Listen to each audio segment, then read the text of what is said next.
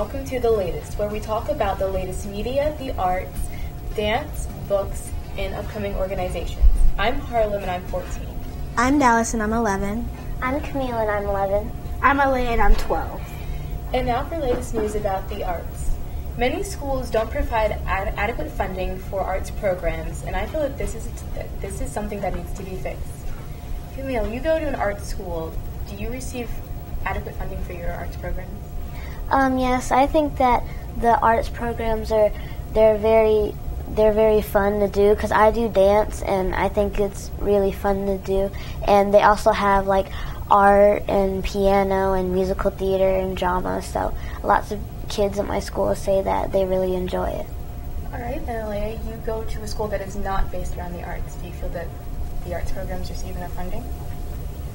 I I don't think they receive enough funding, but also we focus more on education and making sure that we success that we're successful in life. Like the like we're about to take map testing tomorrow, and some some of us are going to take it next week, and so we they want us to focus hard on map testing so that we can do good on the EOGs and, suc- and be successful in life. Dallas, what about your school? Do you receive good funding? I don't think we receive good funding because there is only a certain amount of things we get to choose from for that are art stuff, and then when we choose from them, we don't always get what we chose, and we get into something we might not like. At my school, at the beginning of the year, we have to raise money just to be able to have music for a choir class and to be able to receive transportation for certain field trips. I feel that they need to provide a little more funding because they provide so much funding for for athletic events. And while a lot of people enjoy that, people also enjoy arts. I mean, just all of the arts programs, and so I think they should get a little more recognition. Uh, speaking of the arts, Camille, what, any like, news about dance? Um, well, I take dance at Northwest School of the Arts, and um, my teacher, Miss McLeod, she really pushes us to make sure that we have down all the vocabulary. And she, the reason why she does push us is because she wants us to learn at a certain pace, but she wants to take our time and make sure that we get the movements. But we just had an upcoming test on in dance, and we had to do, um, we had to write a position and all the different counts for uh, movements that we do and different practices that we do. And I also go to Charlotte Ballet. And my teacher, Mr. Renee and Mr. Sarkis, they also push us to make sure that we also have the right techniques and that we have fun and just stay focused. And do you feel like you're pushed too hard, or do you think that it's always it always has a point and that it's always necessary? I think that it has a point and that it's not it is necessary, but not that necessary because they just had upcoming auditions for the Nutcracker, and I didn't audition because I have homeworks and projects and different other hobbies and activities that I do outside of school. So I didn't audition for the Nutcracker, but I usually do do the Nutcracker, but I just didn't do it this year because of homework and stuff. Other school commitments, right? Do you feel that sometimes they put these other school commitments in front of the arts, like athletic events and practices? No, not really. We don't have any athletic practices because they focus on the arts more than practice and education. And if you don't have like an AB average, then you might get consequences for your arts. But yeah, so I think that's what. Okay. Well, what about a school that doesn't focus on the arts? So we have a lot of sports where I go, and we don't have a lot of arts, but you have the choice to take band or orchestra during school year for encore. We also do do a play once a year. You can also take drama for encore, but we focus. I think we focus more on sports than we do on arts. I feel that my school is the same way, and some students have actually had to choose between doing an after school sport and taking a class during the day, which I don't think makes sense because they're two separate activities and they are two different times, and I feel that they should be able to do both if they really wish they could. So, for example, four students can take choir because they were in a certain sport at my school, and the coach for that sport wanted them to take a different class. So they pulled them out of choir, and I don't think that's really fair, do you? It's not really because the kids they have more than one talent and they want to express all of them. And how are you supposed to express them all if they're not allowing you to take more than one class on that helps you express the talents? Exactly. I see that. Um, so, um, so have do you know of any people like dancers that have faced these problems with having to put other commitments before their art? Um, not really, but I I noticed the dancer Misty Copeland when she was young. She couldn't she couldn't attend dance practices because her mom couldn't take her there because it was too far for her home or she had other activities to do.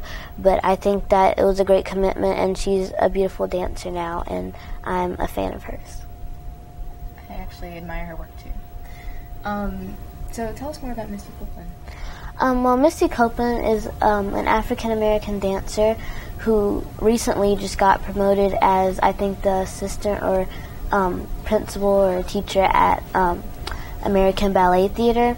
And I think that's a really great thing because they haven't had an African American teacher in about 75 years or a decade, and that's really amazing. And I also the some professional dancers at Charlotte Ballet, they do a really good job also, and they also admire Misty Copeland, and so do the teachers. And Misty Copeland teaches dancers that inspire her that it doesn't matter what your body looks like as long as you try your best and you work hard and you believe in yourself and believe in your dream and progress in your work. Right, and I think that's one of the reasons that I admire her. I've read articles about her in magazines such as Teen Vogue, where she told her story, talked about her message, and mm-hmm. just about her beliefs. And I think she's a very beautiful dancer and just a wonderful person. Mm-hmm. Um, okay, so now we're going to talk about the latest books with Elena. So I like books because they take me to other places, especially when I'm sad. They can cheer me up because I put myself in another character's shoes as I read, and they could be in a happy situation and it makes me happy or they could be in a worse situation than mine. I realize my situation could be worse than theirs or like theirs making me feel better about my situation. And so i think people should read more to help them with their problems. Also studies show that when you read it, it helps with your vocabulary. There are five books that i think teens should read are the chocolate wars wonder freaks the Princess of Trillion and 12 Minutes to Midnight because those are really good books. I like to read fiction books, and I also like to I like to read fiction books because they are not real and it's not the real war, world pushing down on me. and so I think that books can help change the world and not always it doesn't always have to be the video games or the the sports or anything else. Sometimes you just need a good book to take away all the bad things in your life. All right. Um, we're going to take a short break, but we'll be back soon with the latest.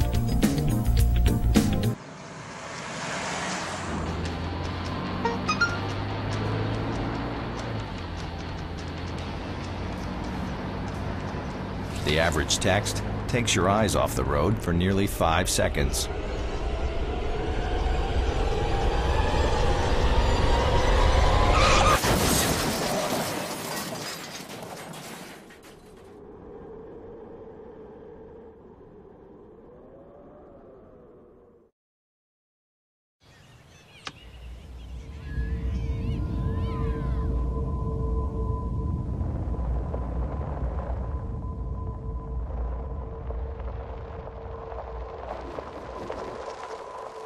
7,000 high school students drop out every school day. Let's catch them before it's too late. To start helping students in your community, visit boostup.org. for joining A Better You and welcome back to the latest where we'll be continuing our conversation about books. So, we were talking about your top five list of books, so now I'd like to open up the question to the rest of the table. What are your favorite books Um, well, the current book that I'm reading is called The Isle of the Lost by Melissa de la Cruz. And the book that I'm reading is about how you know evil villains like Maleficent, Jafar, and the Evil Queen and Snow White and stuff. So it's about their their sons and daughters and how their evolution went on. And right now I'm in about the middle of the book or almost done with it. And I'm at a point where Maleficent's daughter Evie is looking for her mother's stone, like her evil stone. And there actually was a movie that came out about it. So I watched the movie and now I'm comparing and contrasting about it. So that's what I'm doing. And also, um, Cruella de Vil, her son, yes, Carlos, um, he instead of being like evil, he's kind of on the nice side, but he still he still has evil in him, but he still doesn't like dogs and he's more of an inventor and a scientist more than an evil villain like Mal, Maleficent's daughter. And um, also Evie, I mean she she is the evil queen's daughter and she's like a beauty princess. She loves beauty like her mother says that she can never be as beautiful as her, and Evie takes that as not a compliment but a judgment. And she's kind of concerned about that since she's been stuck in the castle for almost a decade. But she's at that point where she doesn't really like for her mother to judge her anymore. So she's trying to stand up for herself, but her mother just won't let her. And then Jafar's son, um, Jay, he's more of like a ladies' man. He likes to steal stuff a lot, like his father. Like anything he sees, he will steal. Like in like a snap of a finger, he will just steal it like that. Like he will literally like come to your house and steal your chandelier without you knowing. But that's how sneaky he is, and he's one of my favorite characters because he's really funny and he has good comments, but he's still evil. So yeah, that's what my book's about. So is it just portraying them as regular teenagers, or in a magical yeah, setting? they're they're still regular teenagers. So basically, there's a dome surrounding the evil island, and then on the other side, it's like water separating them from the good, uh, the good children, mm-hmm. like Cinderella and. Um, Aurora, like all of those good people, they're on the other side while the evil people are right here, and there's water separating it. And since there's a dome around it, no magic can come on the Isle of the Lost, is what the island is named. And right now, the four of them are on a journey to, um, the four of them are on a journey to travel to Auradon and find the evil scepter. But yeah, so that's what it's about. Alright, so what about you, Dallas? I'm currently reading Eleanor and Park, and I really enjoy the book because it's about two people who are slowly falling in love throughout their high school year. Alright, so what are the names of the characters? What are there, they like? There's Eleanor and there's Park, and they're very, I'm guessing, like different kind of. And Eleanor, she's more, she doesn't show who she really is because she's afraid. And Park, he wants, he's like kind of the person who wants people to show who they are right when they, he meets them. Um, so when is the story set? When does it take place? It doesn't have a time range in it, so but it seems like modern day, but they are talking about stuff that didn't happen this year, like in modern day. Okay, I see. Well, one of my current favorite books is If I Stay by Gayle Forman. Um, it was recently turned into a movie, actually, with I can't remember the actress's name, but it was it was a really good movie, translated very well. The main plot is that there is a girl. She's a celloist, and she ha- she has a pretty good life. I mean, she has a really nice boyfriend. She's got a really supportive friend. She auditioned for Juilliard because she's very good with cello. And um, it starts out with ki- with a snow day, and it seems like it's just going to be a regular story. So they dri- so they decide to drive and have lunch with some family friends, but they have a massive car accident, and the parents are killed on impact, and you don't get you don't get much information about her little brother at first, but you slowly kind of figure out the conditions of everybody else. And basically, the whole story is about her decision of whether she should stay and live the rest of her life or if she should give up and decide to be with the rest of her family. And I felt like it was really, it was really intriguing. It was really, it was really well written. I liked the way that um, she would flash back to different times and then come back to the present and fill you in on everything that's going on. So I just thought it was a really great book, and the ending was definitely just amazing. All right. So that wraps up our conversation about books, and now we're going to talk to Dallas about upcoming businesses. So there is a business that we are working on. It's called Brainy Beauty, and they are trying to help girls rely on their brain more than their beauty for things. So we're helping girls with goal setting and leadership. And we're just we're still getting it together, but we would like to have it out by spring of 2016.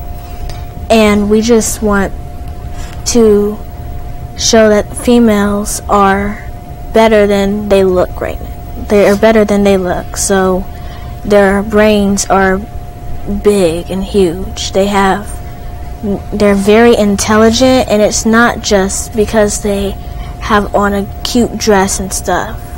They're not all based on what they're looking at. Right. So does this business have any products out they don't have any out yet, but they are trying we are trying to get out t-shirts and book bags and purses and stuff as soon as possible. And um, so, what's significant about these T-shirts and products? The T-shirts, um, they have slogans like "My brain is my beauty," "Brains over beauty." They have very encouraging slogans on it. Um, so, do you guys seem interested in this business? Do you think it's a good thing for mm-hmm. the community? How do you think girls could benefit from this? Um, I think that girls should benefit from this from not judging what people wear. Like if a girl wears KDs and Jordans and another girl wears Toms and Keds, it doesn't matter what you look like or what you dress like as long as you have the brains and you have the knowledge and um, not that you know a lot of stuff, but but that you educate over judging people and what they wear and what they do. I think that's very very well said. Um, we're going to take another break. My life is full of statistics. Thing is, I could have dropped out of school and become one myself, but I didn't because I had people that believed in me. Here's another statistic 7,000 students drop out every school day. That's one every 26 seconds. It's time that students know that we believe in them. Inspire a student and share your message of support at boostup.org. Cada libro es una aventura esperando convertirse en realidad. Visita nuevos mundos. Encuentra nuevos amigos. Y descubre el poder de la lectura.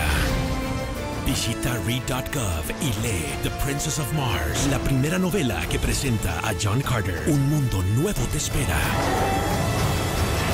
Lee.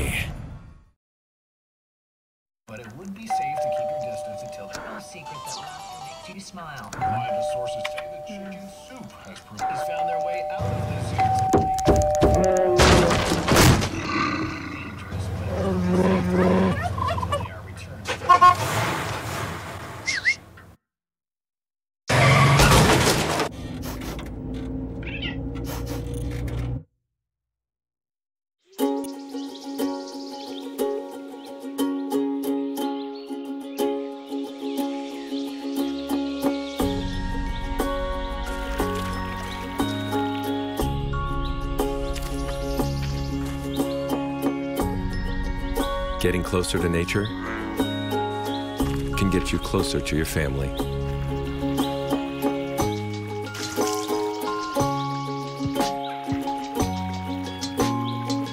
Go to discovertheforest.org. And welcome back to A Better You, and thanks for watching The Lately. So, now we're going to be talking about music. So, my personal favorite, my personal top five favorite songs on the radio right now are Can't Feel My Face by The Weeknd, um, let's see, Chains by Nick Jonas, One Last Time by Ariana Grande, and let's see, what else? Um, I still kind of like Uptown Funk by Bruno Mars, even though it's it's getting a little old now, and definitely she's kind of hot by Five Seconds of Summer because it, despite the title, it talks more about just how it's okay if you don't have everything together with your life and stuff like that, and it's not it's not just about a girl, contrary to popular belief. Promise. Um, so, what are some of you guys' favorite songs? Um, well, my favorite artist is Meghan Trainor because she teaches girls that it doesn't matter what your body looks like or how big in size you are, as long as you believe in yourself and you have the courage to stand up for yourself and your friends. And my favorite song by her is "What If I" by um, is "What If I," and another favorite song by her that I like is um, "Like I'm Gonna Lose You" featuring John Legend. So I like Whitney Houston because I want to be a great singer, and I think she's an amazing singer because I've seen videos of her, and she could sit there just singing, and she she'd be sweating on her forehead and everything. I'd be like, I'm gonna be able to sing like that someday. I'm gonna be able to sit down and put on a great show, and, and people will know I'm showing effort because I'm because I'm gonna start sweating on stage. And one of my some of my favorite songs by her are "Where Do Broken Hearts Go," "I Have Nothing," and "I Will Always Love You." Oh, the last two songs.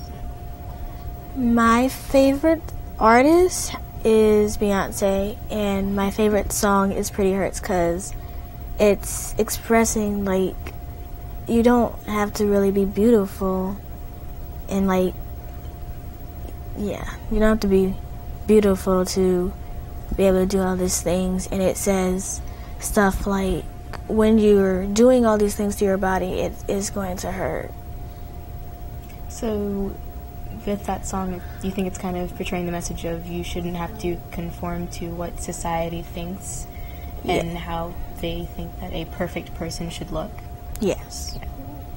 Um, well, I would say that my favorite artist is Ariana Grande. Um, I've followed her for a really long time. I've been a fan of her since 2010 when she first started on Victorious, and I've follow, I've been following all of her albums, just all of her shows. I've seen the Broadway show that she was on when she was younger, and I really like all of her music. It's it's not the message that really that I pay attention to. I love her voice, her range. Just she has an ama- she's an amazing range. She has she has the ability to do great whistle, whistle tone. She has a really strong voice, but she can also be really light. I just I love the variety of music that she can make with her voice, and I feel that I would I would love to be able to have that kind of voice one day. So, um, okay, so are there any upcoming albums that you guys are excited about? Um, well, I I think that Meghan Trainor is coming up with another album. Um, I think on Instagram or like social media, it, it's talking about how she's coming up with another album and how she's really excited about writing it, but it's a lot of work. So I'm really excited about that. So I'm waiting and hoping for that to come out. Well, I don't usually get excited over albums, but whenever I go to onto YouTube, sometimes ads ads will pop up and it'll say Prince's new album, and so like I'm not really all into albums. I just like listening to the music. Right. But it, I think I think because of the ads, Prince is is going to be coming out with a new album. I'm not sure. I don't know any albums that are coming out, but I'm not sure if Nick Jonas, if his album is out or anything, but I'm waiting for his album. Yeah. Well, of course, being a huge Ariana Grande fan, I am very excited for her new album to come out. She's releasing her new single on the 30th of October, so pa- patiently slash impatiently waiting for that. Um, and it's not going to be coming out for a really long time, I don't think, but definitely the next 21 Pilots album because their last one was really great, and I really enjoyed that one. So, um, Yeah. So, is there a certain genre that you guys are interested in mainly? Um, well, a genre that I'm really interested in is, um, you know how Taylor Swift, she changed from country, like, pop music, like the Shake It Off song and video? Yeah, I like music like that because it helps me move and get me excited about stuff. Like, if I'm in a sad mood, then, like, I can listen to one of my favorite artist songs and it'll lift me up or either it, um, it'll give me some type of emotion and that's what I love about that's what I love about Meghan Trainor songs. They give you that kind of feeling that makes you either want to jump up in excitement or like go cry and bang your head on a wall. But um, but sometimes um, I never do that. But of course, but um, sometimes that's what I feel like doing, and that's why I love her songs. Yeah. Yeah, that's what I feel about pop music. I think it's like really great because it gets you in a really good mood and it just makes you want to dance around jump around with all of your friends and just kind of be happy and stuff like that. Um, Well, I like music in general, as as long as it's something that I can listen to and something I'll pay attention to. But but I have to say my favorite kind of music is music that focuses on romance because I really like romance. yeah, I do too. My favorite type of music is just music that's fast that you can get up and just dance to, and I don't I don't like music that you have to be slow and stuff. Right. It's like fast, whatever you want to do. Like Sam Smith. Yeah. Yeah, he writes a lot of slow songs, but they're really good. Yeah. Thank you for joining us on A Better You, and thank you for watching the latest. Be sure to tune in every Wednesday where we'll talk about more media, the arts, dance, books, and upcoming businesses. Bye.